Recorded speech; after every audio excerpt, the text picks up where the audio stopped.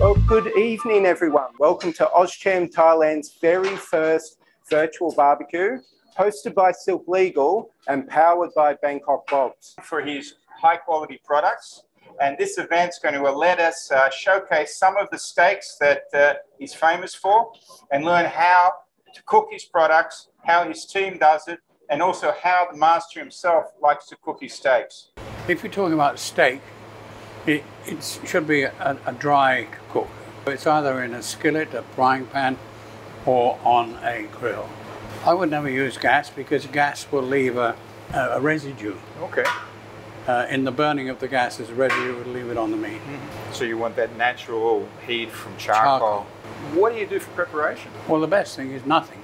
But you should firstly choose a good steak, at least one inch, Okay. and let it come to room temperature because you're going to cook it pretty quickly. Right now, what is happening is the the meat is under tremendous stress of that heat. You imagine? Just let, let the camera see. And what we're doing is allowing those fibers to reabsorb the liquid to keep the juice.